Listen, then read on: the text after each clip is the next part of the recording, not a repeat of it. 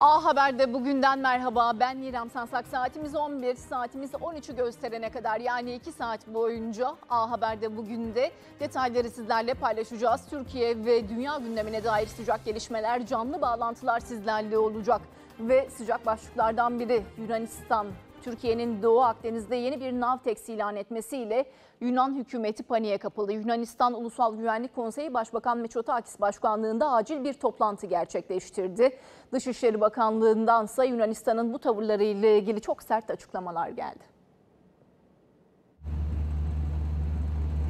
Türkiye, Oruç Reis'i korumak için savaş gemileri, fırkateynler ve denizaltılarla adeta Doğu Akdeniz'e çıkarma yaptı.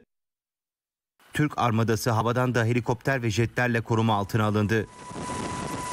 Yunanistan ve Mısır'ın kendi aralarında imzaladıkları deniz yetki alanları ile ilgili anlaşmayı tanımayan Türkiye yeni bir Navtex daha yayınladı.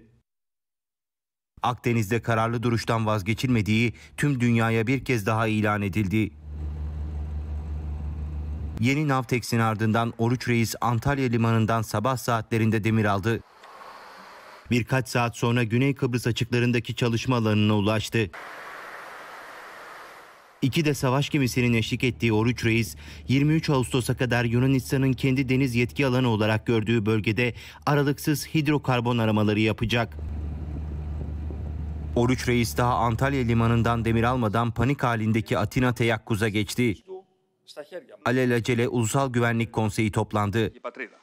Türkiye'nin yeni bir NAVTEX ilan etmesiyle birlikte Yunan Deniz Kuvvetleri'nde de hareketlilik yaşanıyor. İşte öğle saatlerinde Meis Adası'nın Türkiye'ye bakan kısmında Yunan Deniz Kuvvetleri'ne ait bir fırkateyn konuşlandı. Toplantı sonrası Türkiye'ye sondaj çalışmalarını durdurma çağrısı yapıldı. Yunan medyası ise savaş gemilerinin seferber edildiğini yazdı. Yunan Başbakan Mitsotakis ise Türkiye'nin adımı karşısında NATO ve Birleşmiş Milletler Genel Sekreterleriyle telefon görüşmesi gerçekleştirdi. Yunanistan'ın Akdeniz'de gerilimi tırmandıran adımlarının ardından Dışişleri Bakanlığı'ndan önemli açıklamalar geldi. Dışişleri Bakanlığı Akdeniz'de gerginliği artıran tarafın Yunanistan olduğunu vurguladı. Yapılan açıklamada Akdeniz'in tek sahibi benim anlayışıyla hareket edenler hüsrana uğrayacak ifadesine yer verildi.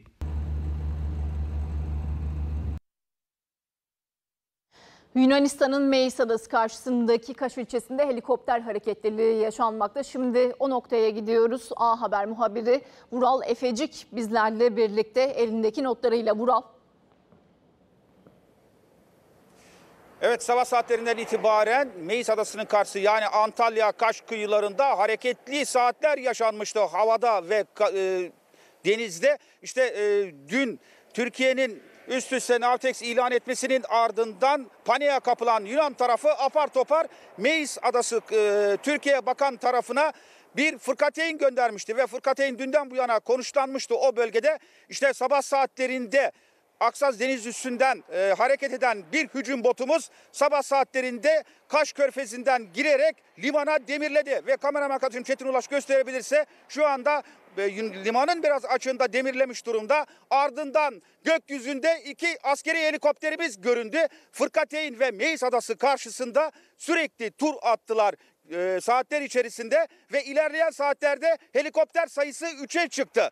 3 helikopterimiz yaklaşık 45 dakika boyunca işte Yunan Yunanistan'ın Meis adası tarafına e, bakan kısımda e, havada turlarına devam ettiler. Şu an itibariyle helikopterler batıya doğru biraz daha batı kıyısına doğru yönelmeye devam ediyor. Fethiye kıyılarında şu anda uçuşlarını sürdürdükleri bilgisi bize geldi. İşte Türkiye ve Mısır e, Türkiye, Mısır ve Yunanistan arasında imzalanan sözde deniz yetki anlaşmasına tepkisini sadece masada değil işte sahada da göstermeye devam ediyor ve dün ve bugün bu sahadaki yansımaları görebiliyoruz. Türkiye bu gelişmeler üzerine Doğu Akdeniz'de yeni bir Navtex ilan etmişti. Türk Deniz Kuvvetleri Fethiye ve Antalya açıklarında atışlı tatbikata başlamıştı. Dün itibariyle işte bugün sabah saatlerinde 05'te o işte gerçek mermilerle gerçekleştirilecek tatbikat devam ediyor. İşte 3 helikopterimiz de bu kapsamda Meis Adası karşısında Antalya kıyılarında gökyüzünde gövde gösterisi yapmaya devam ediyor. Peki Meis Adası'ndaki Yunan tarafında neler yaşanıyor? Onlar sadece havada, Türkiye havada ve denizde Türk'ün gücünü seyretmekle yetiniyorlar. Evet Antalya'da şu an itibariyle hava hareketliliği biraz daha batıya kaymış durumda. Kaş bölgesinde Fethiye tarafında e, muhtemel ki helikopterler yakıt ikmali yaptıktan sonra tekrar Meis Adası karşısına Kaş e, Körfezi'nin bulunduğu noktaya geri dönecekler. Gelişmeler oldukça bizler sizlere aktarmaya devam edeceğiz şimdilik. Evet Vural Efecik detayları bizlerle paylaştı. Oruç Reis Akdeniz'de diyoruz ve Oruç Reis görev başına birazcık özelliklerine bakalım Oruç Reis'in gelin. 8000 metre derinliğe kadar 3 boyutlu sismik araştırma yapabilmekte. 15 bin derinliğe kadar 2 boyutlu sismik araştırma 8 kilometre uzunluğunda 8 ayda sismik kablo altyapısı var Oruç Reis'in. Deniz tabanı ayrıntılı görüntüleme sistemi uzaktan kumandalı su altı aracı, jeoloji, jeofizik, hidrografi ve oşinografi ve biyoloji laboratuvarları da e, var Oruç Reis'in. Devam edelim %90 yerli tasarım ve entegrasyon 17 knotsız saat başına 31,48 kilometre boyu 87 metre, genişliği 23 metre, 72 hava tabancasıyla zemine ses dalgası yayma, deniz tabanından 18 metre uzunluğa kadar karot numunesi alabilme ve uluslararası standartlarda helikopter pisti de bulunmakta mevcut Oruç Reis'in diyelim. Şimdi e, değişmeyen bir gündem diyoruz. Koronavirüs sadece Türkiye'nin değil dünyanın da gündemi. Tablo böyle. 10 Ağustos 2020 itibariyle açıklanan tablo 62.219 testimiz var. Hasta sayımız 1193, vefat sayımız 14 ve iyileşen hasta sayımız ise 1211. Peki uzmanlar neler söylüyor? İzleyelim.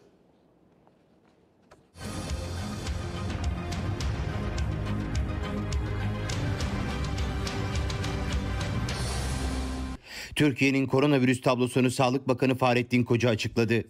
Son 24 saatte 14 hasta hayatını kaybetti.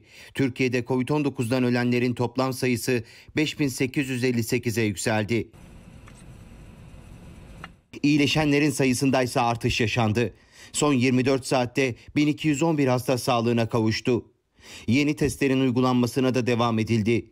Türkiye genelinde bir günde 62.219 test yapıldı. Bakan Koca ağır hasta sayısı ve hastalarda zatüre oranlarını da kamuoyuyla paylaştı. Ağır hasta sayısı 603'e yükseldi. Zatüre oranı ise %8,2 oldu. Sağlık Bakanı Fahrettin Koca tabloyu sosyal medya hesabından değerlendirdi. Test sayımız salgın boyunca en yüksek olduğu seviyeye yakın. 60 yaş ve üzeri aktif hastaların toplam hasta içindeki oranı ülke geneline bakıldığında %20-25 aralığında seyrediyor. Gümüşhane ve Uşak %35 ile bu açıdan en yüksek orana sahip. Bugün Türkiye genelinde Covid-19'a karşı alınan önlemler denetlenmekte ve İçişleri Bakanlığı'nca yapılan denetimlere hem valiler hem de kaymakamlar katılıyor. A Haber muhabiri Ramazan Almaçayır bizleri bekliyor şimdi. O denetimlere eşlik eden arkadaşımız Ramazan neler aktaracaksın bizlere kolay gelsin. Şu an için Üsküdar Küplüce pazarındayız. Burası oldukça uzun bir cadde üzerine kurulu bir pazar. Burada da tabii ki oldukça fazla bir yoğunluk oluyor. Bu pazardaki yoğunluğunda koronavirüs tedbirleri kapsamında belli tedbirler alındı. Öncelikle Üsküdar İlçe Emniyet Müdürlüğü'ne bağlı ekiplerin de bu noktada Üsküdar zabıtası ile birlikte uyarıları, anonsları devam ediyor. Vatandaşların bu noktaya girişlerinde de e, tek tek maskeli tak, maske takmaları, e, mesafe kurallarına uymaları isteniyor. Şu anda Üsküdar zabıtası elinde e, megafonla sürekli bu bölgede bu anonsları yapıyor. Bir kulak verelim. Alışverişimizi hızlı bir şekilde yapıp pazardan ayrılalım. Evet, Dışarıda dezenfekte kullanmayı unutmayalım. pazarın içerisinde hem müşterilere, vatandaşlarımıza hem de tezgahtaki esnaflara maskelerini kesinlikle takmaları isteniyor. Tabii maske takmayanlarla ilgili de uyarı yapılıyor. Bu uyarılara uymayanlarla ilgili de e, gerekli tutanak tutuluyor. 900 lira para cezası var biliyorsunuz. Şu anda da Üsküdar İlçe Emniyet Müdürlüğü'ne bağlı ekipler bu noktada hem tezgahları kontrol ediyorlar. Ürünlerin elle seçilmesine kesinlikle izin verilmiyor. Burası Üsküdar'daki Küplüce Pazarı aslında kurulum şekli ve e, sosyal mesafe ile ilgili olarak oldukça e, iyi dizayn edilmiş bir nokta. İşte Üsküdar İlçe Emniyet Müdürlüğü ekipleri, zabıta ekipleri tek tek bu noktada kontrollerini gerçekleştiriyorlar. Vatandaşların e, maskesi maske takıp takmamasını tek tek kontrol ediyorlar. Ee, hemen uyardılar bir hanımefendiyi. Ee, kolay gelsin. Ee, Türkiye genelinde 81 ilde denetimler devam ediyor. Şu anda yine çene altına takılan maskeyle ilgili de uyarılar devam ediyor. Gördüğümüz kadarıyla bu noktada hem vatandaşların hem de esnafların maskeleri takması şu an için yapılan denetimler sayesinde takılmış görünüyor. Tabi Türkiye'nin koronavirüsle mücadelesi birçok ülkeye aslında örnek oldu. İşte 1 Haziran'daki yeni normalleşme ile birlikte e, vaka sayılarının yeniden artması yönündeki bir gelişmeden dolayı da tedbirler sıkılaştırıldı. Çok basit 3 kural var. Maske, mesafe ve hijyen. Bu kurallara uyulması isteniyor ve koronavirüsle mücadelede elde edilen başarının da devamlılığı açısından denetimler oldukça önemli. 81 ilde İçişleri Bakanlığı'nın talimatıyla denetimler devam ediyor. Biz de Üsküdar'daki bir pazarda bu denetimlerden birisine eşlik ettik diyelim. Ramazan Almaçayır'a çok teşekkür ediyoruz. İçişleri Bakanlığı uyarınca e, 81 ilde denetimler yürütülmekte. Valiler ve kaymakamlar da bu denetimlere katılmakta ve Ramazan Almaçayır o denetimlerden birini takip ediyor Üsküdar'da. Şimdi terör örgütüyle devam edelim. Terörle mücadele notlarıyla terör örgütünün Suriye'ye yapılanması olan PYD-YPG adına silahlı faaliyet yürüten bir örgüt mensubu ikna çalışması sonucu teslim oldu. Örgüte 2014 yılında katılan örgüt mensubu çıkarıldığı adli makamlarca tutuklandı. Van ve Şanlıurfa İl Emniyet Müdürlüğü ortak bir çalışma yaptı. PKK-KCK terör örgütünün Suriye'ye yapılanması olan PYD-YPG adına faaliyet yürüten bir örgüt mensubu ikna çalışması sonucu Şırnak'ın Cizre ilçesinde teslim oldu. Örgüte 2014 yılında katılan örgüt mensubu çıkarıldığı adli makamlarca tutuklandı. 2020 yılında 140'a yakın PKK'lı güvenlik güçlerine teslim oldu.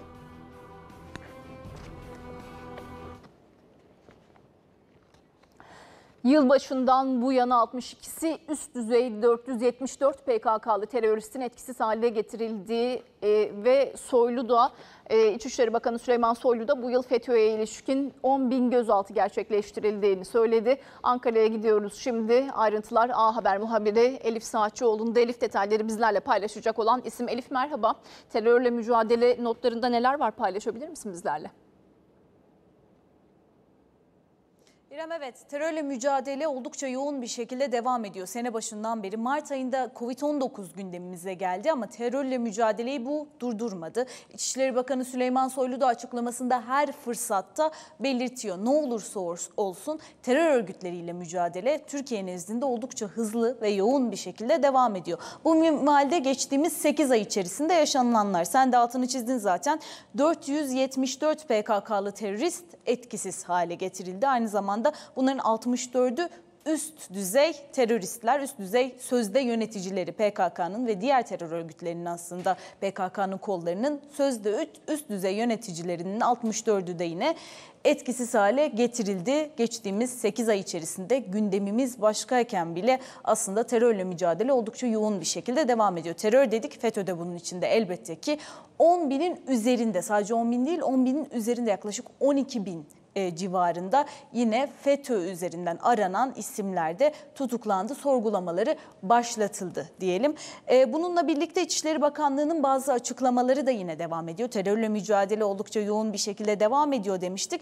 Adım adım aslında genelgeler yayınlanmaya da devam ediyor. İçişleri Bakanlığı'nın bu minvalde yeni bugün yayınladığı bir genelgesi var. Sizlerle onu paylaşmak isterim. İçişleri Bakanlığı valilikleri uyardı bu sefer. Bakanlık kış üstlenmesi sürecinde giren terör örgütünün erzak temini için yurt içindeki mensuplara ve uzantıları vasıtasıyla yüklü miktarda döviz bozduracağı e, uyarısında bulundu. Yine bakanlık özellikle Adıyaman, Ağrı, Ardahan, e, Bayburt, Batman, Bingöl, Bitlis gibi lokasyonlarda e, örgütün, bölücü terör örgütünün kış üstlenmesi e, konulu bir genelge gönderdi bu noktalara ve bu valiliklerde genelgede ülkemizin milli güvenliği, kamu düzeni ve vatandaşların anayasal ve hak ve özgürlüklerini ortadan kaldırmaya yönelik eylem ve faaliyetlerde bulunan terör örgütlerini konu aldı. Bunların kış için kendilerine erzak edinebilmek için çünkü kapana kısılmaya devam ediyorlardı.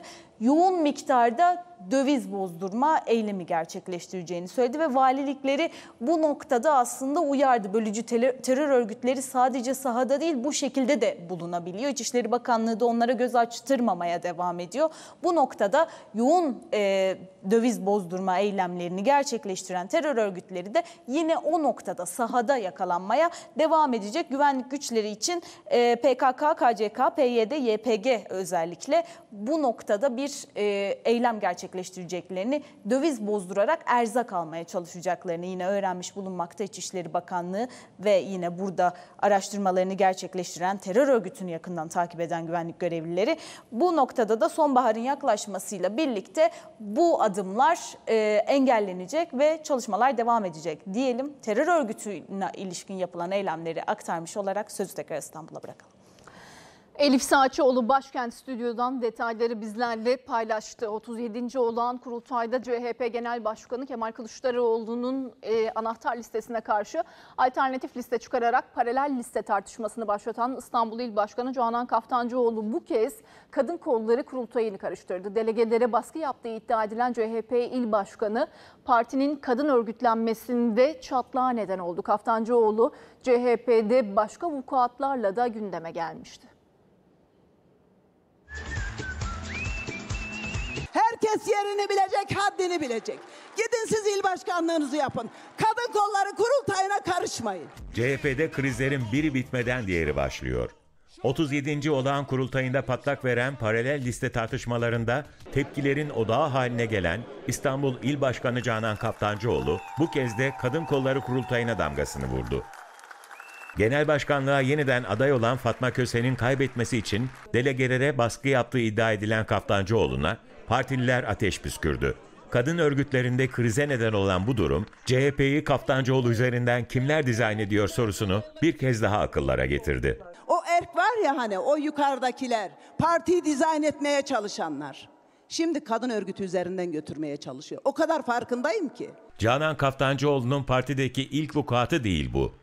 İstanbul İl Başkanı yerel seçimlerde de Kılıçdaroğlu ile ters düşmüş, belediye başkan adaylıklarına karşı bazı isimlerin listede yer almasına tepki göstererek görevinden istifa etmişti. Birkaç saat sonra da Kılıçdaroğlu da ikna edilerek Kaftancıoğlu'nun istifası geri çektirilmişti. İstanbul İl Başkanı diyor ki, bağırarak konuşmayın. Biz nasıl konuşacağımızı biliriz Sayın Başkan. CHP'nin tartışılan ismi Kaftancıoğlu, parti meclisi seçimlerinde ise Kılıçdaroğlu'nun anahtar listesine karşı alternatif liste çıkarmış, Genel Başkan Yardımcısı Tuncay Özkan'ı seçtirmemek için çalıştığını itiraf etmişti. Üç gündür, dört gündür illere yapılan baskıların farkındayım. Kaftancıoğlu son olarak Kadın Kolları Genel Başkanlığı seçiminde sahneye çıktı. Genel merkezin de desteklediği Aylin Nazlı Aka için delegeleri yakın markaja aldı ve yarışı 514 geçerli oydan 308'ini alan Nazlı Aka kazandı. Mevcut Başkan Fatma Köse ise 206 oyda kaldı. Evet haberimizde de izledik. CHP'de Muharrem İnce tartışmaları sürüyor. Genel Başkan Kemal Kılıçdaroğlu ile görüşen eski genel başkanlar partideki bölünme endişelerini artırdı. Gözlerde Muharrem İnce'nin perşembe günü yapacağı açıklamaya çevrildi. Şimdi gelin başkente gidelim bir kez daha. Başkent gündemi hareketli. Son bilgileri bizlerle A Haber muhabiri Tülay Ağoğlu paylaşacak. Gelişmeleri takip eden arkadaşımız Tülay. Merhaba kolay gelsin. Neler aktaracaksın? CHP ile ilgili hareketli günler geçirmekte.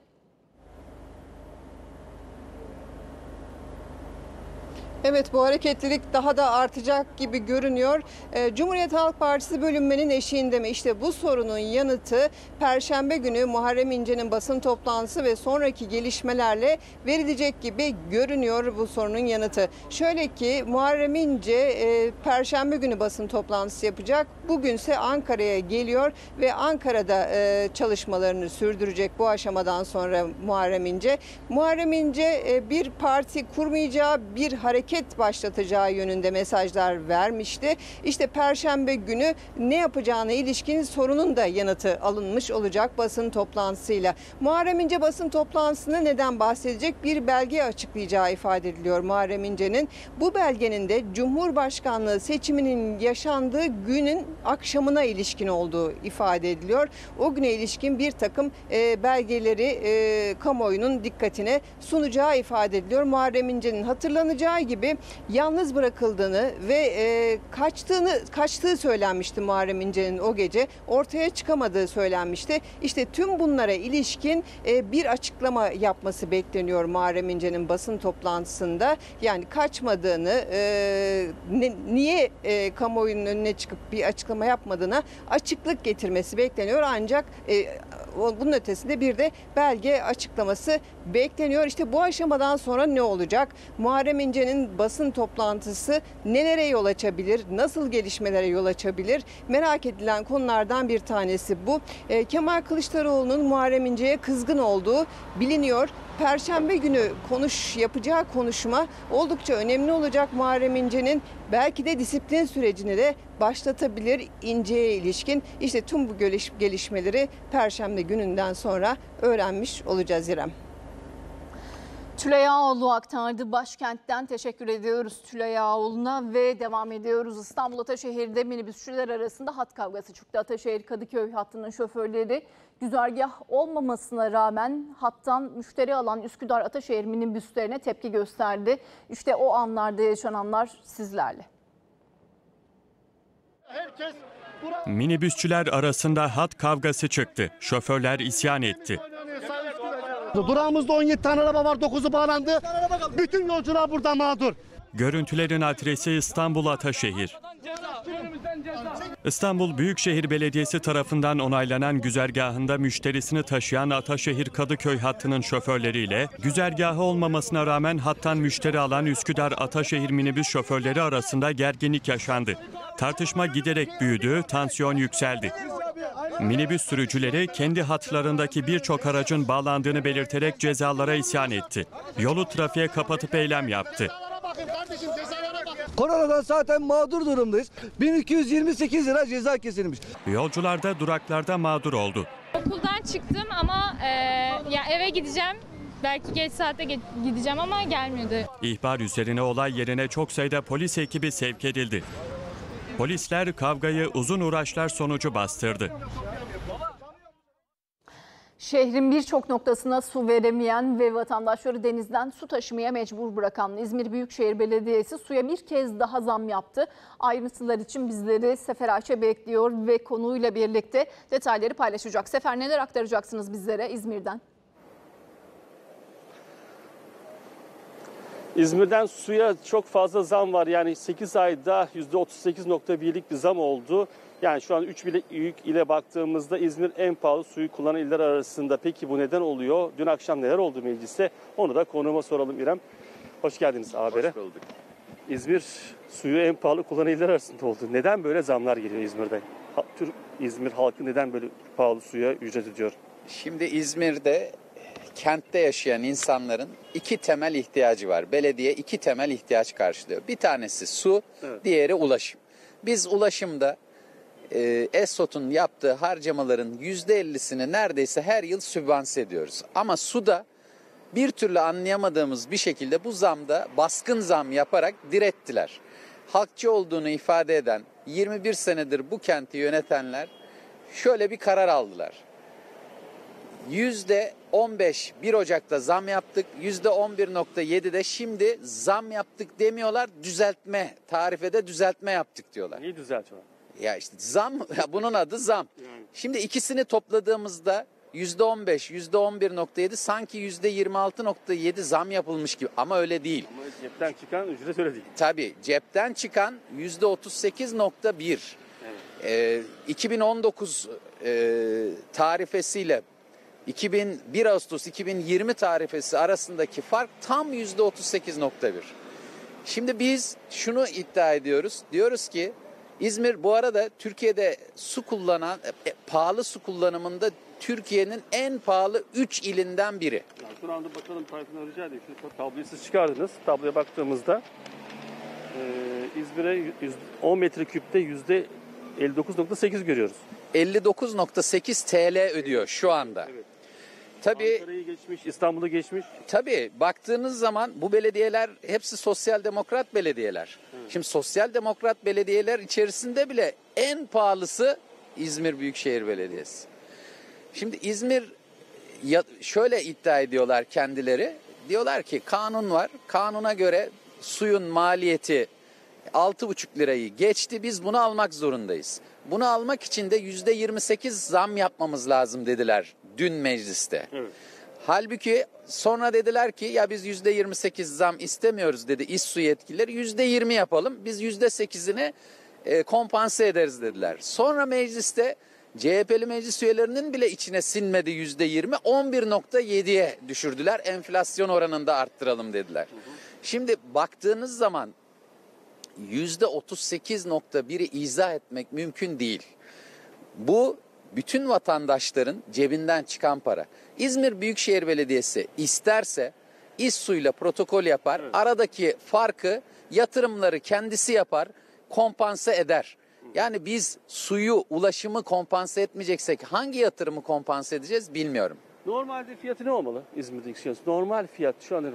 Şimdi bakın enflasyon oranında zam yapılacaksa enflasyon oranında yapılması gereken zam 11.7 ise niye 1 Ocak'ta %15 zam yaptınız? Ya bu işin olması gereken diğer yerlerdeki gibi normalde 11.7 toplamda zam yapılması gerekiyordu.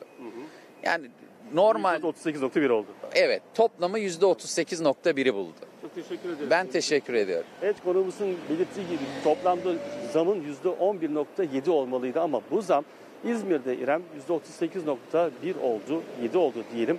Sözü tekrardan İzmir'den size bırakalım.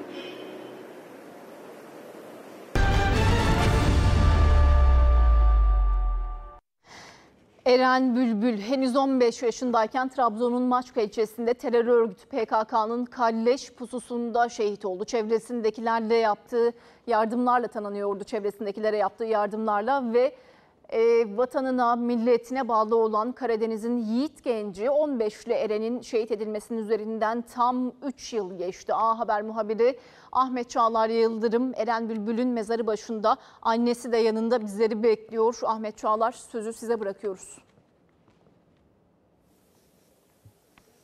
Evet Eren Bülbül 3 yıl önce 2017 yılı 11 Ağustos tarihinde evlerinin önünde bölücü terör örgütü mensupları tarafından şehit edilmişti ve bugün 3. yıl dönümü ölümünün ve yayın konuğumuz şehit Eren Bülbül'ün annesi Ayşe Bülbül. Evet özlem yıllar geçtikçe artıyor. Nasıl bir Erensiz geçen 3 yılı nasıl değerlendirirsin? Erensiz geçen 3 yılım çok acılı, çok hüzünlü. Evet benim başka yavrularım da var ama yine de olsa Eren'im yanımda olmadığı için çok üzgünüm. Çok acılıyım. Hele de yıl dönümlerinde, doğum gününde, anneler gününde, karneler gününde. O günler gelince çok daha da hüzünlü oluyorum. Bu günler acıyla geçmez oldu. Ama yine de yanımda başka yavrularım var. Onlardan destek alarak yaşamak zorundayım. Onların desteğiyle ayakta, onların gücüyle ayakta durmak zorundayım.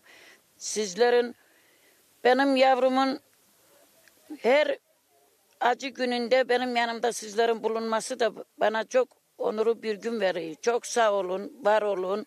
Allah razı olsun emeği geçen herkesten. Bak bugün anneler benim yavrum şehit yıl dönümünde nice anneler bana nereden gelmiştiniz? Ağrı'dan 25 tane anne benim acımı benimle paylaşmak için çıkıp geldiler. Kaç saat yolculuk yaptı çıktı çıkıp geldiler. Onlardan da Allah'ım razı olsun. Onların da acıları var. Onlar da benim acımı paylaşmak için 25 tane anne bugün benim yanıma o kadar uzun yolculuk yaparak geldiler. Allah'ım onlardan da razı olsun. Sayın Sayın savcımızdan, kaymakam beyimizden, belediye başkanımızdan, herkesten Allah'ım Allah'ım razı olsun. Allah'ım herkesin yer ve yardımcısı olsun. Allah'ım gaza bele vermeden yerinize acısız, üzünsüz ulaşmayı nasip eylesin sizlere. Çok sağ olun. Tabii e, Eren'in şehit edilmesinden bir yıl sonra da Eren'i şehit edenlerin e, bir anlamda yok edildiler. Eren'in ve e, Asubay'ımızın benim o kanı kadar- yerde kalmadı. Benim Onunla o kadar büyük söylesin? benim o kadar büyük acım var ki onların gebertilmesi benim acım onların gebertilmesi benim acımın yanında bana hiç gelir. Yani ben onların gebertilmesini benim acım daha fazla Küçük de bir teselli veriyordur herhalde. biraz veriyor yani biraz veriyor ama hani de benim yavrum burada şehit edil- edildiği zaman onlardan burada gebertilse bir tane o bende daha çok bir etki yapacaktı. Yine de gebertildikleri için emeğe geçip onları gebertenlerden Allah'ım binlerce razı olsun. Benim yavrumun kanı yerde kalmadığı için de kanını yerde bırakmayanlara da binlerce teşekkür borcum var. Onlardan Allah'ım razı olsun. Benim yavrum sonuçta şehit edildi. Onlar da yaşamayır. Onlar da gebertildiği için gebertenlerden binlerce kez Allah'ım razı olsun. Sizlerden, herkesten, emeği geçenden, buradaki cemaatten, herkesten Allah'ım razı olsun. Çok teşekkür ediyorum. Çok çok Allah teşekkür ediyorum ben de Sağ sizlere. Gelenlerin ayağına Sağ olun. sağlık. Onların Evet. ölmüşlerine de Allah'ım rahmet eylesin. Allah'ım güle güle yerinize ulaşmaya sizlere nasip eylesin. Herkese teşekkür ediyorum. Bu acılı günümde benimle bu acımı paylaştığınız için Allah'ım sizin de işinizi gücünüzü rast getirsin. Teşekkürler. Ben de teşekkür Ayşe ediyorum. teyze, evet Eren Bülbül şehadetinin 3. yıl dönümünde mezarı başında anılıyor. Annesi Ayşe Bülbül yayın konuğumuzdu. O da duygularını dile getirdi canlı yayınımızda. Sözü tekrar Trabzon'dan size bırakalım. A Haber'de bugün de devam ediyoruz. Ben İrem Sansak saatimiz 12'yi gösteriyor. Son saat dilimindeyiz ve bir kez daha sıcak gelişmelerle karşınızdayız. Rusya'dan dünyanın beklediği haber geldi. Rusya Devlet Başkanı Putin Covid-19 aşısının tescillendiğini açıkladı. Son durumu alacağız şimdi. Rusya'ya uzanıyoruz. A Haber Moskova temsilcisi Akşin Kışiyev karşımızda. Detayları bizlerle paylaşacak. Akşin e, sonunda tescillendiği açıklandı aşının. Peki e, neler konuşuluyor Rusya'da şu anda? Evet Rusya Sağlık Bakanlığı daha önce e, ülke bilim insanlarının geliştirdiği koronavirüse karşı ilk aşının 12 Ağustos tarihinde tescilleneceğini duyurmuştu. Rusya Devlet Başkanı Vladimir Putin aşının e, bu sabah itibariyle artık e, e, resmen tescil edildiğini söyledi. Bakanlar Kurulu toplantısında konuşan e, Rus lider Rusya'nın böylece dünyada e, koronavirüs aşısını teşkil eden ilk ülke olduğuna e, dikkat çekerken bu aşının e, etkinliğine e, etkinliğine tam olarak güvendiğini e, ve güvenilirliğine de tam olarak e, emin olduğunu söyledi. Vladimir Putin aşı ile ilgili Sağlık Bakanı Mikhail Murashko'dan detaylı bilgi vermesini isterken e, çok yakın zamanda Rusya'da e, e, e, tescil edilen aşının seri üretimine de başlanılacağını umut ettiğini belirtti. Vladimir Putin dünyanın diğer ülkelerinde de yakın zamanlarda koronavirüs aşılarının e, tescil edileceğine e, inandığını belirtirken Rusya'nın da diğer ülkelere yardım etmeye hazır olduğunu söyledi. Rusya Sağlık Bakanlığı daha önce e, Gamaley Araştırma Enstitüsü tarafından geliştirilen aşının e, 12 Ağustos'ta diğer bir araştırma merkezi, Vektör Araştırma Merkezi tarafından geliştirilen aşının ise Ekim ayında tescil edileceğini açıklamıştı. E, e, Böylece e, sonbahardan itibaren ise Rusya'da e, toplu aşılama ka- kampanyası da başlatılacak. Bu arada Rusya Devlet Başkanı Vladimir Putin kızlarından birisinin birisine de Rusya'da tescil edilen aşının artık yapıldığını, uygulandığını söylediğini de belirtelim ve söz tekrar size bırakalım. Akşin Kışiyev'e çok teşekkür ediyoruz. Rusya'dan detayları bizlerle paylaştı. İlk aşı tescillendi. Rusya'dan geldi açıklama. Türk Silahlı Kuvvetleri'nin başarılı operasyonları ise hız kesmeden devam ediyor. Son olarak Irak'ın kuzeyinde 5 terörist daha etkisiz hale getirildi. Pençe Kaplan operasyonu hız kesmiyor. Terör hedefleri başarıyla tespit edilip tek tek vuruluyor. Son olarak Irak'ın kuzeyindeki Haftenin bölgesinde 3, Avaşin bölgesinde ise 2 PKK'lı terörist hava harekatlarıyla etkisiz hale getirildi. Gelişmeyi Milli Savunma Bakanlığı duyurdu.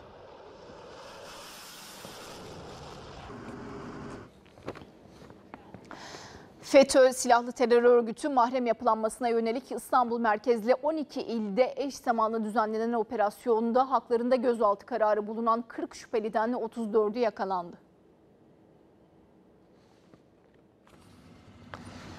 Fethullahçı terör örgütünün Türk Silahlı Kuvvetleri içindeki e, kuvvetleri içindeki mahrem yapılanmasında operasyonlar devam ediyor. İstanbul Cumhuriyet Başsavcılığı Terör ve Örgütlü Suçlar Soruşturma Bürosu'yla İstanbul Emniyet Müdürlüğü Terörle Mücadele Şube Müdürlüğü koordinesinde İstanbul merkezli 12 ilde FETÖ'nün mahrem yapılanmasına yönelik operasyon yapıldı. Operasyonda hakkında yakalama kararı çıkarılan aralarında muvazzaf askerlerin de yer aldığı 40 şüpheliden 34'ü yakalanarak gözaltına alındı. 8 şüpheli ise yakalamaya yönelik çalışmalar devam ediyor.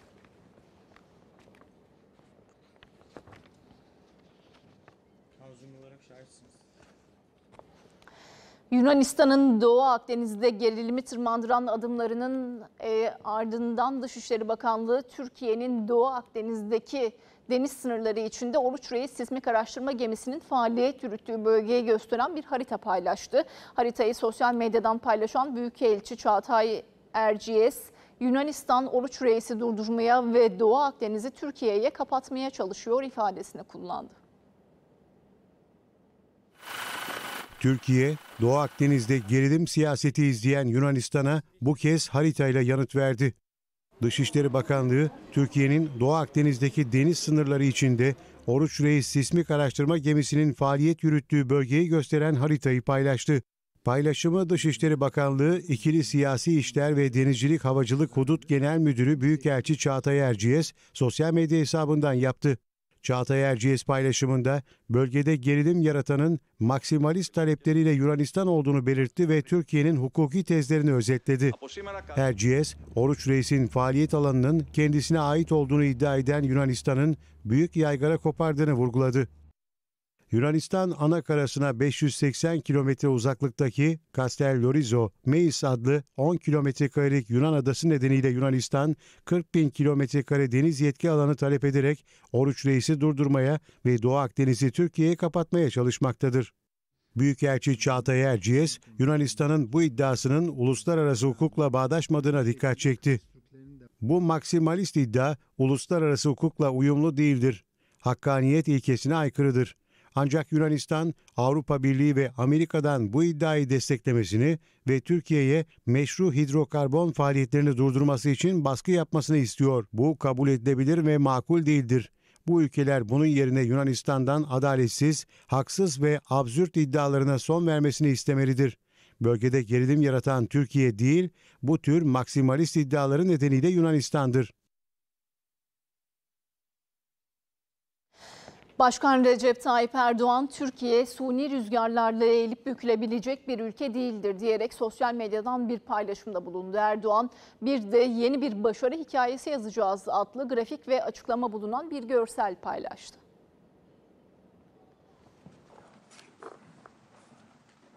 Türkiye ekonomide bu suni rüzgarlarla eğilip bükülebilecek bir ülke değildir. Yaşadığımız her sıkıntıda ülkemizin gücü bir kez daha sınanıyor. Hamdolsun bu sınamaların hepsinden de alnımızın akıyla çıkıyoruz. Başkan Recep Tayyip Erdoğan kur saldırısına tepkisini dile getirdiği bu sözleri bir de sosyal medya hesabından paylaştı. Erdoğan yaptığı paylaşımda bir de içerisinde grafik ve açıklama bulunan bir görsel paylaştı. Görseldeki metinde Türkiye'nin bölgesel ve küresel bir güç olarak yükselen yıldızından rahatsız olanlar her seferinde daha sinsi, daha riyakar şekilde üzerimize geldiler.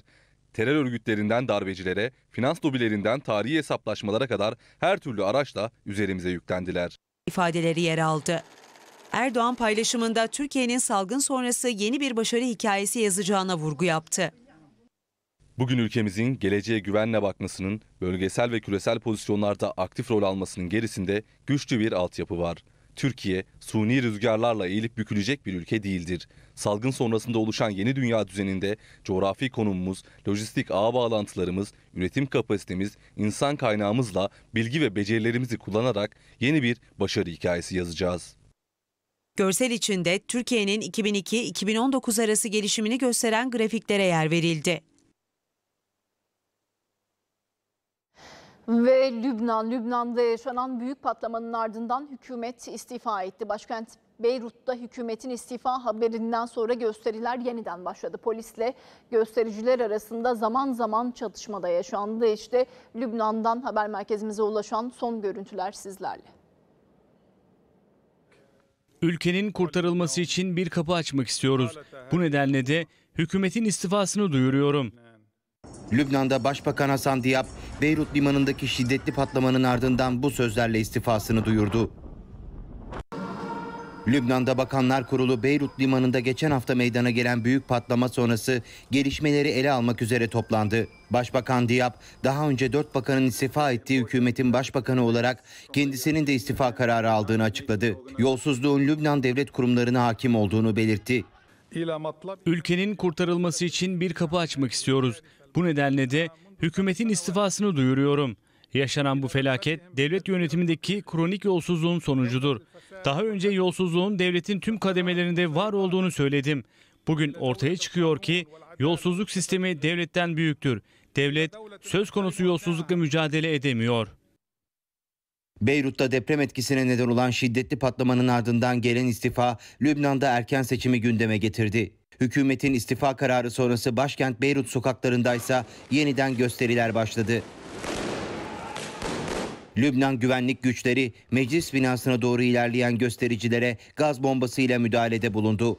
Göstericilerle polis arasında zaman zaman çatışma yaşandı. Beyrut limanında 4 Ağustos'ta patlayıcı maddelerin bulunduğu 12 numaralı depoda önce yangın çıkmış, ardından tüm kenti sarsan çok güçlü patlama meydana gelmişti. Patlamada 163 kişinin hayatını kaybettiği, yaklaşık 6 bin kişinin yaralandığı açıklanmıştı. İstanbul Haliç Köprüsü'nde başlatılan bakım onarım çalışmalarının ikinci bölümü nedeniyle bölgede trafik yoğunluğu oluşmakta. İşte o görüntüler sizlerle. İstanbul Büyükşehir Belediyesi tarafından yapılan Haliç Köprüsü'ndeki bakım onarım çalışmalarının ikinci aşaması devam ediyor. Çalışmalar nedeniyle sabah saatlerinde D100 karayolunda Çağlayan istikametinde Edirne Kapı ile köprü girişi arasında bir trafik yoğunluğu oluştu. 8-14 Ağustos tarihleri arasında bitirilmesi planlanan çalışma kapsamında 3 şeridinin sağdan 2 şeridi kapatılarak trafik akışı bir şeritten sağlanmaya başladı.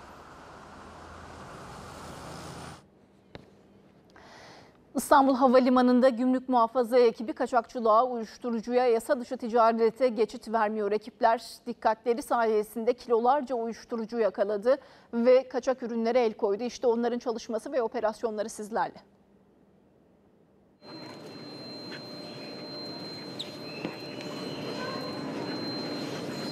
Burası İstanbul Havalimanı. Her gün yüzlerce hatta binlerce kişi gelip geçiyor.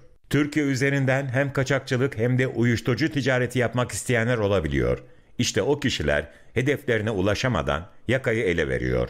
Ticaret Bakanlığı'na bağlı gümrük muhafaza personelleri havalimanının dört bir tarafında. Onların kendilerine göre bazı kriterleri var. İşte o kriterler doğrultusunda onlar 7-24 görevlerinin başında. İstanbul Havalimanı'ndayız. Gümrük muhafaza personelleri rutin kontrollerini yapıyor. Şu an dedektör köpeği Demon'la arama yapıyor. Eğer bir aksilik olursa o valizin yolcusu beklenecek ve daha sonra detaylı arama yapılacak. Yurt dışından gelen yolcular çıkış yapmak için bu alana yönlendiriliyor. Gümrük muhafaza personelleri tecrübelerine dayanarak risk analizi yapıyor. Onlar aslında tabiri caizse biraz da insan sarrafı. Çünkü Dışişleri Bakanı Mevlüt Çavuşoğlu Azerbaycanlı mevkidaşı Ceyhun Bayramoğlu'na başkentte bir açıklama yapıyor. İzliyoruz. Biliyorsunuz bir gelenek var.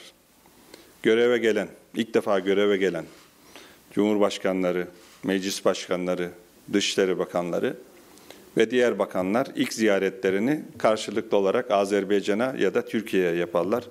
Dolayısıyla aziz kardeşim e, Ceyhun Bayramova da ilk ziyaretini geleneksel olarak Türkiye'ye yaptığı için, bu geleneği devam ettirdiği için e, çok teşekkür ediyorum. Azerbaycan'la bir millet iki devlet anlayışıyla çalışıyoruz. Ve bugünkü toplantılarımızı da aynı anlayışla gerçekleştirdik. Bundan sonraki süreçte de kardeşim Ceyhun Bayramov'la çalışmalarımızı bir millet iki devlet anlayışıyla sürdüreceğiz. Yani hem Türkiye için hem kardeş Azerbaycan için birlikte çalışacağız. Ve bu çalışmalarımızı nasıl sürdürebileceğimizi bugün heyetlerimizle birlikte e, değerlendirdik. Ve ikili ticaret hacmimizi Cumhurbaşkanlarımızın hedef koyduğu gibi 15 milyar dolara çıkarmamız gerektiğini, bunun için tüm mekanizmaları kullanmamız gerekiyor. Etkili bir şekilde. Sadece yüksek düzeyli stratejik işbirliği konseyi toplantıları değil, diğer toplantılarımızı da düzenli olarak gerçekleştirmemiz gerekiyor. Ve bu zirvelerde alınan kararlar, imzalanan anlaşmaların uygulamasını da birlikte takip edeceğiz. Diğer taraftan karşılıklı yatırımlar artıyor. Özellikle enerji alanında en büyük projeleri Azerbaycan Türkiye'de hayata geçiriyor. Enerji dışı sektörlerde ise Azerbaycan'da en büyük yatırımcı Türkiye'dir. Çok sayıda firmamız kardeş Azerbaycan'da yatırım yapıyor ve firmalarımıza verdikleri destek için ve güvenleri için e, çok e, teşekkür ediyoruz. Eğitim alanında, kültür alanında, konsolosluk alanlarında işbirliğimizi geliştireceğiz. Diğer taraftan Türkiye ve Azerbaycan e, Kafkaslar'da sadece Kafkaslar için değil, ta Asya'dan, Uzak Doğu Asya'dan Londra'ya kadar çok önemli projelerin merkezi olan önemli stratejik projeleri hayata geçirdi. Bakü, Tiflis, Kars bunlardan bir tanesi. İşte TANAP projesi şimdi TAP olarak Avrupa ülkelerine uzanıyor. Ve bu stratejik projeleri daha da geliştirmek için, kapasitelerini ve kalitesini arttırmak için yine bu güzergahta işbirliği yaptığımız Gürcistan'la birlikte e, çalışmalarımızı yoğunlaştıracağız. Kardeş Türkmenistan, kardeş Kazakistan, Özbekistan gibi ülkelerin de bu projelere dahil olması için çalışmalarımızı sürdüreceğiz ve buralardaki üçlü mekanizmalarımızı, dörtlü toplantılarımızı önümüzdeki süreçte de gerçekleştirmek için bugün birlikte karar aldık. Değerli basın mensupları 12 Temmuz'da Ermenistan kardeş Azerbaycan'ın Toğuz bölgesine bir saldırıda bulundu. Ve e, Türkiye Cumhuriyeti olarak o gün ne söylediysek bugün aynı şeyi söylüyoruz. Kardeş Azerbaycan yalnız değildir. Tüm gücümüzle, tüm imkanlarımızla kardeş Azerbaycan'ın yanındayız. Yanında olmaya devam edeceğiz. Ve bu vesileyle e, kahraman şehitlerimize bir kere daha Allah'tan rahmet diliyoruz. Yine bu saldırılarda yaralanan kardeşlerimize de acil şifalar diliyoruz. Bu sorunun sebebi nedir? Ermenistan yıllardır kardeş Azer Azerbaycan topraklarının yüzde yirmisini işgal ediyor. Ve Karabağ'ı işgal ediyor. Ve bugüne kadar e, tüm kararlara rağmen yani Birleşmiş Milletler, Avrupa Konseyi ve AGİT gibi kurumların kararlarına rağmen Ermenistan bu sorunun çözümüne yanaşmamıştır.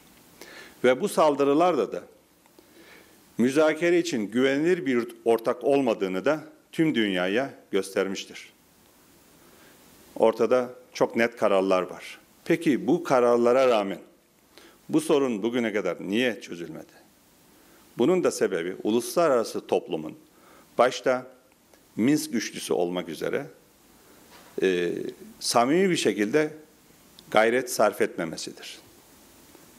Evet biz yine biraz önce bahsettiğim kararlar çerçevesinde ve uluslararası hukuk çerçevesinde ve en önemlisi de kardeş Azerbaycan'ın sınır ve toprak bütünlüğü çerçevesinde bu sorunu diplomasiyle, diyalogla çözülmesini arz ediyoruz. Bu süreçlere de katkı sağladık. Ama Agit e, üçlüsünün de eş başkanlarında kendisine bir çeki düzen vermesi gerekiyor. Rutin açıklamaların ötesinde bu sorunun çözüm için gayret sarf etmeleri gerekiyor. Ve bu yıl içinde e, bu saldırıdan kısa bir süre önce bize yaptıkları bir ziyarette de kendilerine bunları net bir şekilde e, hatırlattık. Dolayısıyla bu sorunun barışçıl yolda halledilmesi için e, uluslararası toplumun ve özellikle de e, Minsk üçlüsünün samimi gayret sarf etmesi gerekiyor. Biz bu süreçte düşüncelerimizi net ortaya koyduk. Ama şunu da söyledik. Evet diplomasiyle ve barışçıl yoldan uluslararası hukuk çerçevesinde bu işler çözülmesi gerekiyor. Ama kardeş Azerbaycan da hangi çözüm yöntemini tercih ederse biz o konuda da kardeş Azerbaycan'ın yanında olacağız, kömekçisi e, olacağız. Tüm bu konuları da bugün birlikte ele aldık. Biraz sonra çalışma yemeğinde Türk Konseyi dahil bölgesel konularda e, bölgesel konuları ele alacağız, değerlendireceğiz. Uluslararası alanda yurt dışında yaşayan vatandaşlarımızın arasındaki dayanışma dahil e, nasıl işbirliğimizi güçlendireceğiz? Bunları da daha detaylı bir şekilde ele alacağız. Daha sonra Sayın Cumhurbaşkanımız kardeşim Ceyhun'u kabul edecek ve toplantılarımızı bu şekilde sürdüreceğiz. Ve e, en son yine e, Türkiye-Azerbaycan yani Turaz Kartalı tatbikatımız da 2014'ten bu yana devam ediyor. Bu alandaki işbirliğimizin en güzel göstergesidir. Yapacağımız çok iş var, ulaşacağımız çok menzil var. O nedenle birlikte daha e, gayretli bir şekilde çalışacağız. Ben tekrar bu duygularla kardeşime hoş geldin diyerek sözü ona bırakmak istiyorum. Çox hörmətli həmkarım, dostum, qardaşım Mevlud bəy, hörmətli tədbir iştirakçıları, hörmətli menci nümayəndələri, xanımlar və cənablar, öncə onu vurğulamaq istərdim ki, Azərbaycan Respublikasının Xarici, Nazir, Xarici İşlər Naziri qismində ilk səfərimi qardaş Türkiyə Cumhuriyyətinə etməkdən çox məmnunam. Bugün keçirdiyimiz görüşlər çərçivəsində Mustafa Kemal Atatürk'ün Azərbaycanın sevinci bizim sevincimiz, kədəri bizim kədərimizdir və ümumilli lider Heydər Əliyevin bir millət, iki dövlət fəlsəfəsi əsasında təmələ sahib olan ölkələrimizin davamlı inkişaf edən əlaqələri hərtərəfli müzakirə edildi. Tarixi köklərə, qardaşlığa əsaslanan Azərbaycan-Türkiyə münasibətləri bütün sahələrdə siyasi, iqtisadi, ticarət, humanitar, hərbi və digər sahələrdə uğurla inkişaf etdirir. Etibarlı strateji tərəfdaşımız olan Türkiyə ilə münasibətlərin daha da dərinləşməsi və genişlənməsi Azərbaycan xarici siyasətinin prioritet istiqamətidir.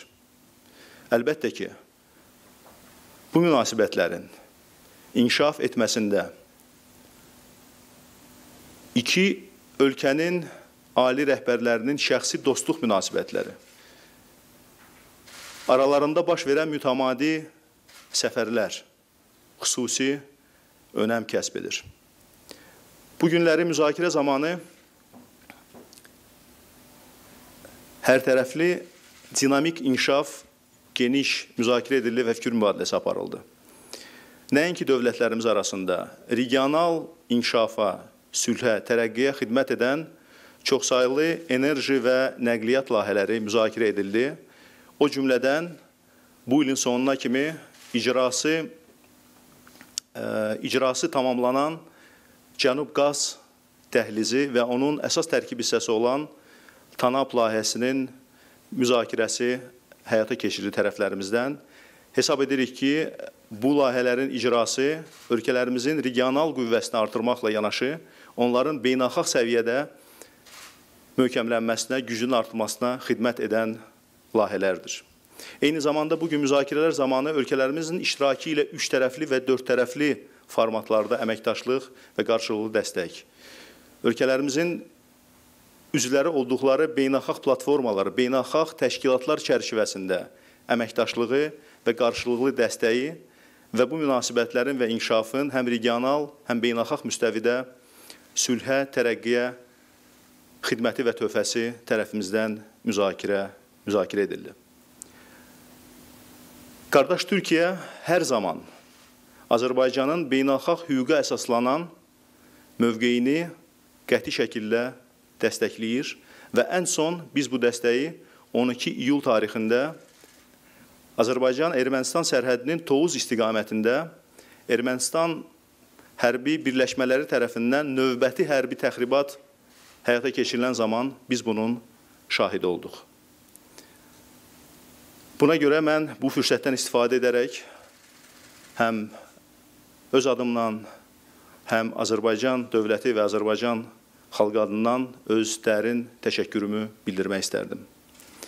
Əfsuslar olsun ki, bölgədə zəmanətli sülhün təmin edilməsinə əsas maneə Ermənistanın təcavüzkar siyasətidir. Beynəlxalq hüququn norma və prinsiplarına əsaslanaraq Birləşmiş Millətlər Təşkilatının müvafiq qətnamələrinə, beynəlxalq təşkilatların qəbul etdiyi qərar və qərar və sənədlərə əsasən bu konfliktin həlli istiqamətli və həlli yolları bəllidir. Azərbaycanın bununla bağlı mövqeyi qətiyyətlidir və dəyişməzdir. Bu konflikt Azərbaycan dövlətinin ərazi bütövlüyü, suverenliyi və ərazilərinin və sərhədlərinin toxunulmamazlığı prinsipi əsasında həll edilməlidir. Mən eyni zamanda onu qeyd etmək istərdim ki, Azərbaycan hər zaman bütün məsələlərdə Türkiyənin haqq işinin haqq işini dəstəkləyir və Türkiyənin yanındadır. Azərbaycan dövləti və Azərbaycan xalqı Türk dövləti və Türk xalqının yanındadır.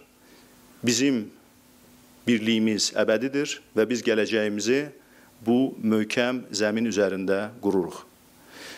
Fürsətdən istifadə edərək mən həm öz adımdan, həm nümayəndə heyət adından qonaq pərvərliyə görə öz dərin təşəkkürümü bildirmək istərdim və əziz dostum, qardaşım Mevlud bəyi Azərbaycanda qarşılamaqdan məmnunluğumu bildirmək istərdim.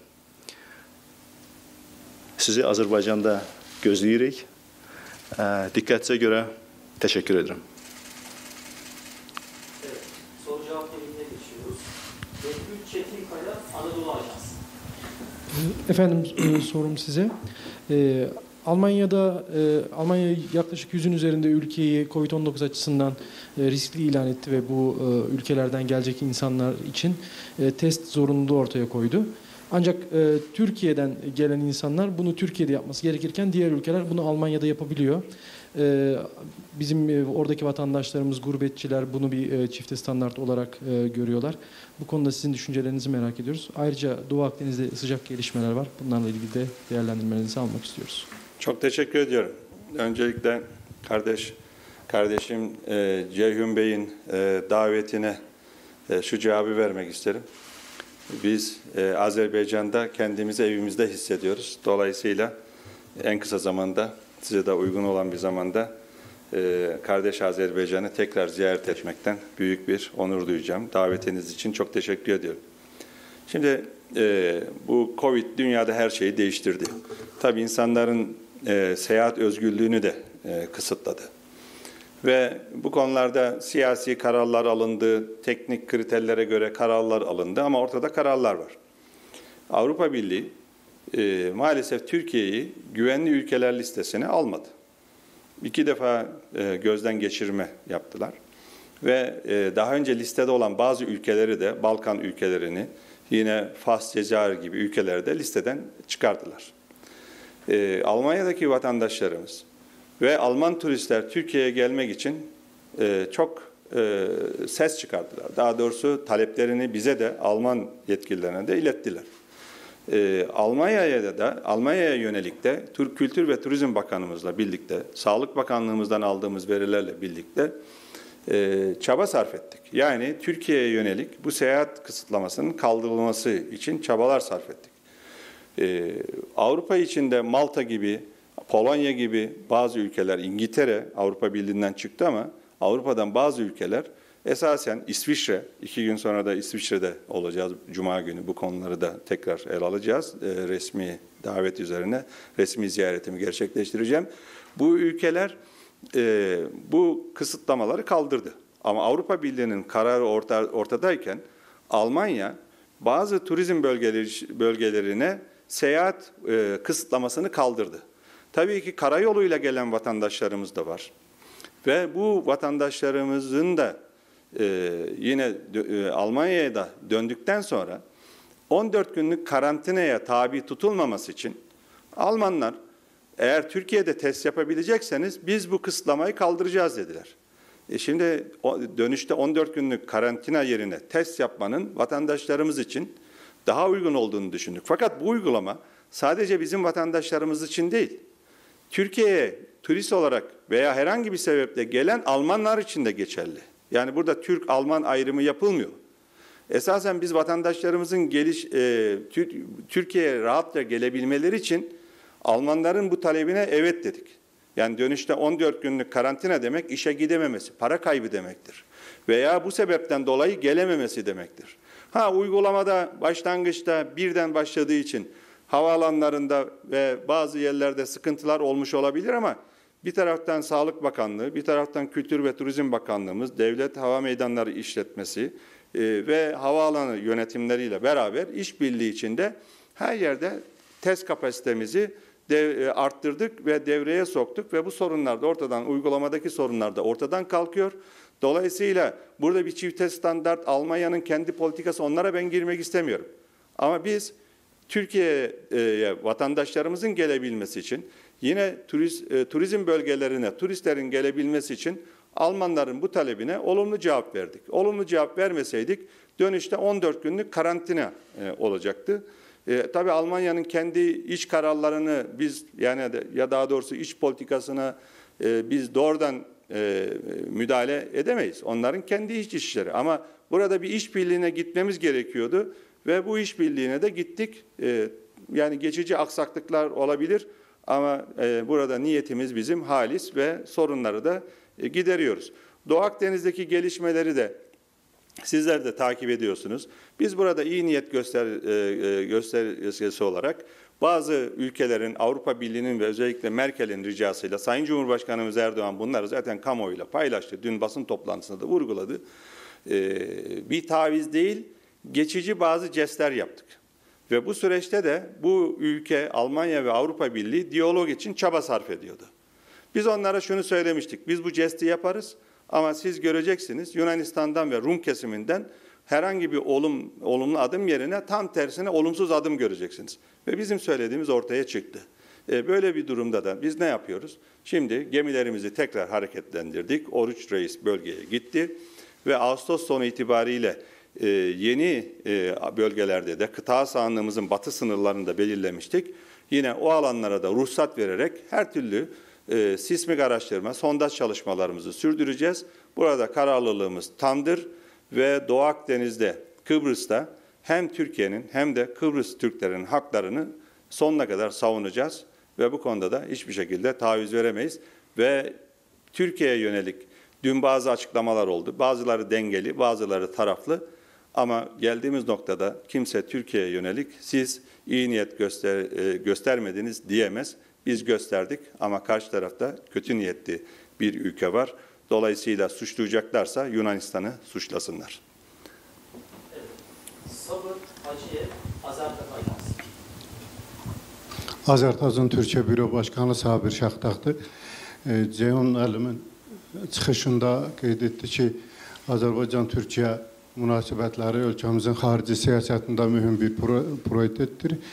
Mən bir sual hər iki bakana ünvanlamaq istəyirəm. Ümumiyyətlə Azərbaycan-Türkiyə münasibətlərinin inkişafı üçün planlar və atılacaq addımlar nə ola bilər qarşıda? Çox təşəkkür edirəm.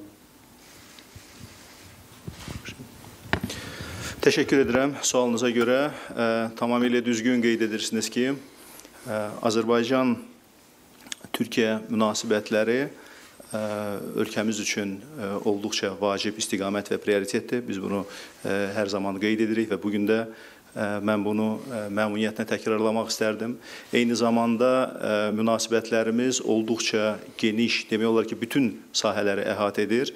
Yalnız onu demək kifayət edir ki, Azərbaycanla Türkiyə arasında bu illər ərzində 241 müxtəlif sahələri əhatə edən müqavilə imzalanmışdır və onların icrası həyata keçirilir. Hal-hazırda 29 əlavə müqavilələr baxılır, işlənilir və düşünürük ki, yaxın zamanlarda onların da icrası və imzalanması başa baş tutacaq və icrası həyata keçiriləcək. Bütün sahələrdə olaraq münasibətlər çox dinamik inkişaf edir. Bunu mən bəzi misallarla qeyd edə bilərəm, bəzi rəqəmlərlə təsdiq edə bilərəm. 2019-cu ildə deyək ki, ticarət dövriyyəmiz 2018-ci illə müqayisədə 33% artmışdır.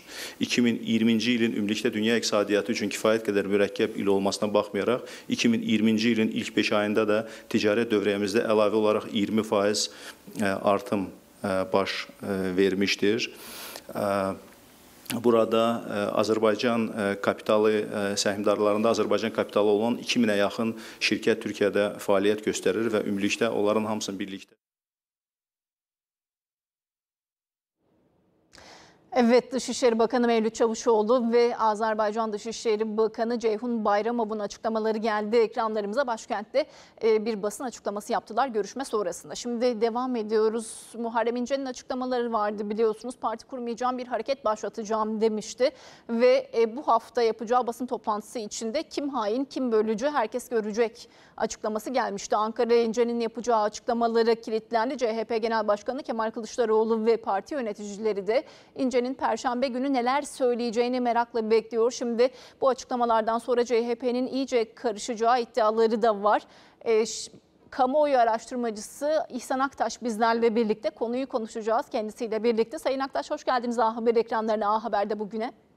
Sağ olun efendim teşekkür ederim.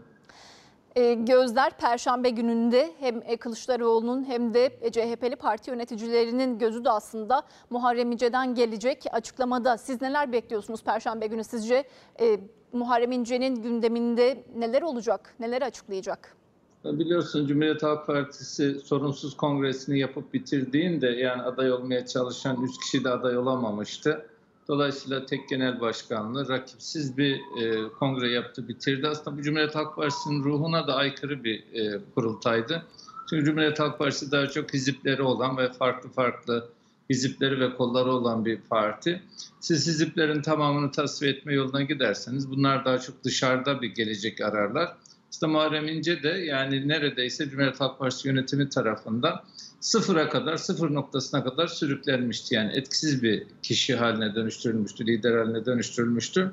Aslında açıklamasıyla beraber Cumhuriyet Halk Partisi'nin o sorunsuz dedikleri, bütün rakiplerin tasfiye edildiği kongreye Muharrem İnce gölgesi düştü. Hatta dün parti meclisi açıklandığı zaman da yani yorumlar öyle yapıldı. Yani Cumhuriyet Halk Partisi artık bundan sonra Muharrem İnce'yi tartışarak, gündeminde tutarak bir süreç yönetecek.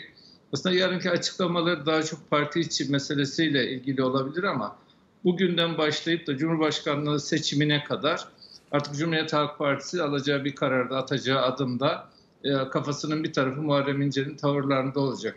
Aslında bu da bir yönüyle e, şeyin Kemal Kılıçdaroğlu'nun dostlar politikasını da berhava etmiş oldu. Çünkü e, İyi Parti'yi, işte HDP'yi, Cumhuriyet Halk Partisi'nin bir çatı altında tutan Saadet Partisi ile dirsek temasında olan Kemal Kılıçdaroğlu adım adım iktidara gittiğini düşünürken aslında Muharrem İnce'nin bu hamlesi bir yönüyle de Cumhurbaşkanı adayının kim olacağı konusunu daha bugünden gündeme getirdi ve görünen o ki Muharrem İnce yani sağcı bir cumhurbaşkanına CHP'nin ittifak müttefik olduğu sağcı bir cumhurbaşkanına razı olmayacak.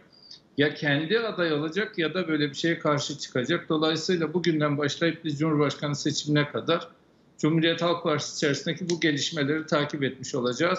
Özellikle Muharrem İnce'nin aslında bence memlekete de büyük bir faydası dokundu. Cumhuriyet Halk Partisi'nde sandık olmazsa sokak diye bir motivasyon vardı. Bunu hatırlayın. Hemen hemen her seçim yenilgisinden evet. sonra gündeme getiriyorlardı.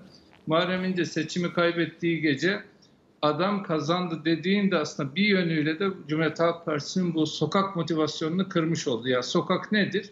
isyandır, terördür, e, polisle çatışmadır. Yani Türkiye'nin kurucu partisinin bence böyle bir pozisyona düşmesini de engellemiş oldu Muharrem İnce. Evet şimdi şunu da sorayım size. E, sizce Cumhurbaşkanı adayı olarak gösterilecek mi e, Muharrem İnce? Ve Murat Karayalçı'nın da bir açıklaması oldu Muharrem İnce ile ilgili. Aday olmazsam imza kampanyası başlatırım e, şeklinde. E, sizce e, bir imza kampanyası başlatacak mı? Ve emin e, ve e, bu açıklamayla ilgili Murat Karayalçın e, bir şantajdır e, bu dedi. E, neler söyleyeceksiniz? Bu arada Emin Pazarcı da bizlerle. Hoş geldiniz Emir Pazarcı. Yani aslında şöyle düşünün. Hani ben gerçekten bu teşhisimin e, böyle devam edeceğini düşünüyorum. Bu tartışma Muharrem İnce'nin aslında parti kurma e, şeyi, e, düşüncesi Cumhuriyet Halk Partisi'ni olağanüstü derecede tedirgin etti. E, Gel ki Cumhuriyet Halk Partisi bu tür süreçleri yönetme konusunda uzmandır. Eğer Muharrem İnce e, şey Cumhurbaşkanı seçiminde sonraki dönemde olduğu gibi daha ince siyasetli adımlar atmazsa Cumhuriyet Halk Partisi tekrar Muharrem İnce'yi sıfır noktasına sürükleyebilir. Yani bu konuda Türkiye'nin en deneyimli partisi var ve bugüne kadar da aslında muhal muhaliflerini nasıl felç ettiğini biliyoruz. Dolayısıyla aslında bu tartışma uzun bir tartışma. Bugün başladı. İmza olabilir, başka bir şey olabilir, başka bir şey olabilir ama birincisi şunu çok radikal bir şekilde iddia edebilirim. Muharrem İnce aslında dostlarla kurulacak e, çerçevesi ve içeriği çok karışık olan kimin kimle dost kimin kimle yakın olduğu bilinmeyen bir ittifakın aslında köküne kibrit suyu çık, sıkmış oldu. Bu aslında Cumhuriyet Halk Partisi'nden ziyade dostları kara kara düşündürecek bir durum. Yani yüzde bir oyla, yüzde yarım oyla Cumhuriyet Halk Partileri ve İyi Partileri bütün Türkiye'nin oyunu alarak e, Cumhurbaşkanı olmak ya da bu ülke politikasında etkili olma e, şeyi yani hayali suya düşmüş oldu. Ama ben e, yine iddia ediyorum bu tartışma ta Cumhurbaşkanlığı e, adayı belli olana kadar devam edecek. Muharrem İnce imza kampanyası da başlatabilir, kamuoyu da oluşturabilir. Ama ben bugünden yarına şunu söyleyeyim. Bir partileşme adımının kendisi açısından daha e, iyi olacağına dair bir kanaatim var. Çünkü mücadele ettiği grup Cumhuriyet Halk Partisi çok da böyle bu konularda tekin bir parti değil ve uzmanlık alanı zaten hizipçilik ve e, lider tasfiye etme işi. Onun için e, Muharrem İnce'nin işi çok da kolay değil diye düşünüyorum. Peki.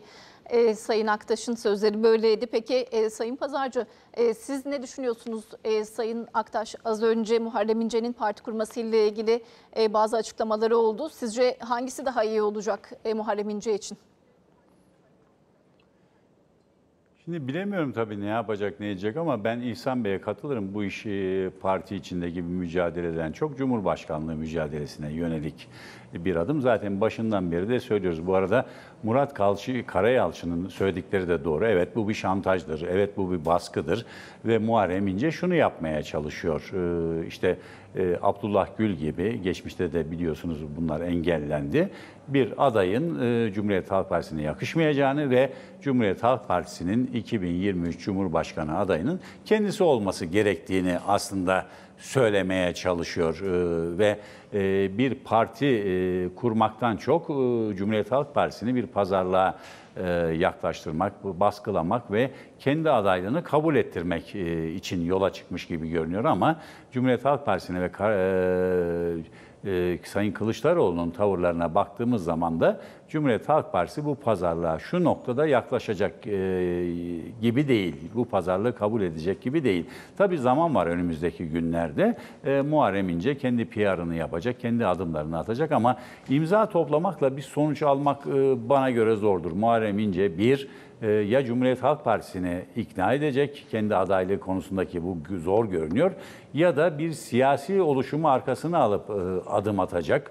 E, tabii e, önümüzdeki günlerde kendisi ne söyleyecek, hangi e, yolu e, deneyecek e, o e, belli değil. Ama şunu da söylemek mümkün, e, Muharrem İnce'nin ar- arkasında ciddi bir mücadele var. Bakın 2010 yılından bu yana Sayın Kılıçdaroğlu'nun e, Cumhuriyet Halk Partisi Genel Başkanı olduğu 2010 yılından bu yana parti içinde çok ciddi tartışmalar var ve e, partinin ulusalcı kanadı yavaş yavaş e, tasfiye edildi ve şu anda e, son kurultaya baktığımız zaman orada e, işte Oğuz Kağan Salıcı gibi Cumhuriyet Halk Partisi kapatılsın diyen ikinci cumhuriyetçilerle Canan Kaftancıoğlu gibi aşırı soldan e, CHP içine giren e, isimlerin hakimiyetine geçti ve CHP'nin geçmişle irtibatı kesildi. CHP'nin kökleri kopatı, kopartıldı.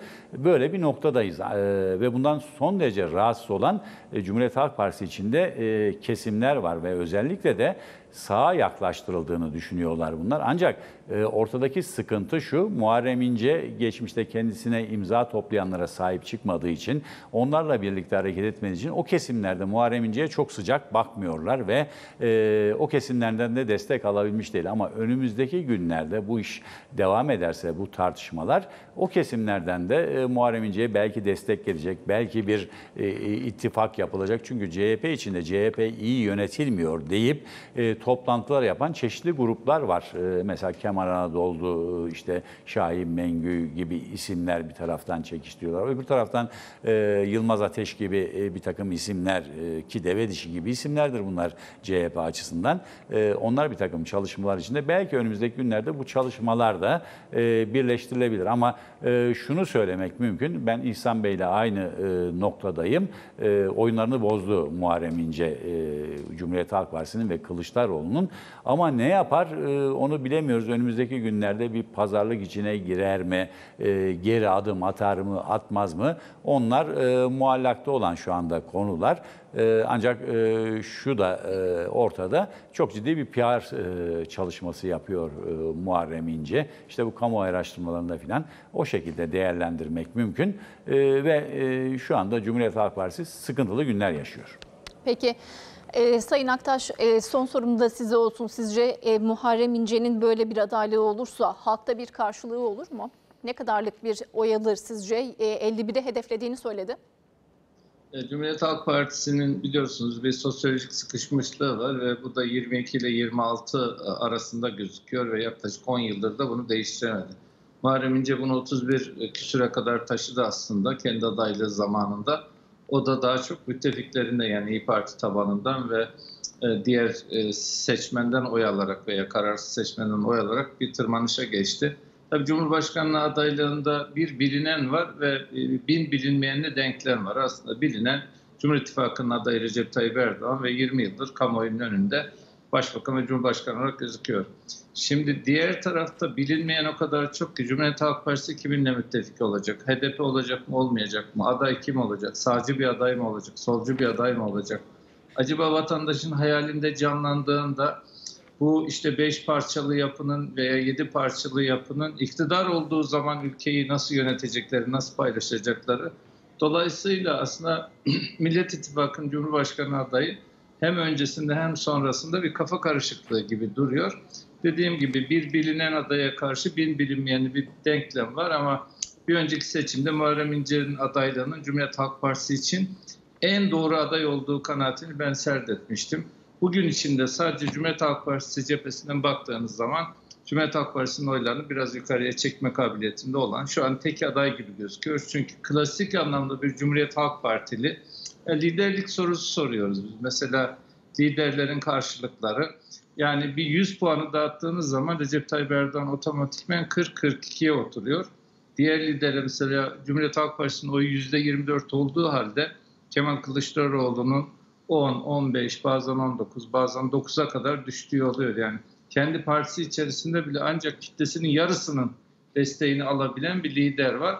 Dolayısıyla hikayenin bir tarafı çok net, diğer tarafı çok e, şeye açık ya tartışmaya açık. Millet de buna bakıp bir gün bir karar verecek sanırım. Peki Emin Pazarcı e, size de söz hakkı vermek istiyorum. Bu konuyla ilgili bir karşılığı olacağını düşünüyor musunuz halkta e, Muharrem İnce'nin bu adaylığının?